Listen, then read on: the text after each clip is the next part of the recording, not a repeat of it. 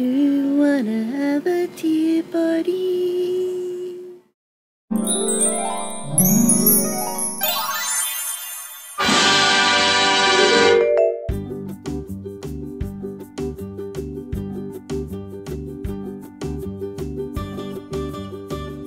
We gonna go to the party, Maya?